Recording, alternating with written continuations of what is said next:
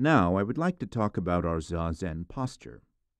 When you sit in the full lotus position, your left foot is on your right thigh, and your right foot is on your left thigh. When we cross our legs like this, even though we have a right leg and a left leg, they have become one. The position expresses the oneness of duality, not two and not one.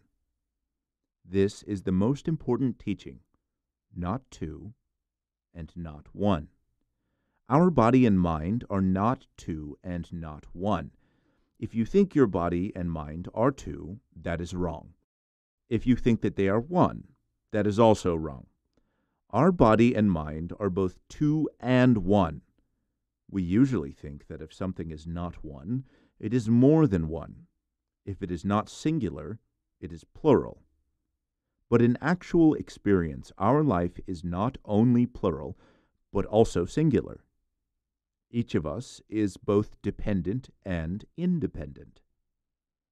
After some years, we will die. If we just think that that is the end of our life, this will be the wrong understanding.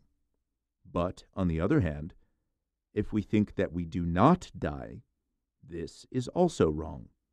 We die and we do not die. This is the right understanding. Some people may say that our mind and souls exist forever, and it is only our physical body which dies.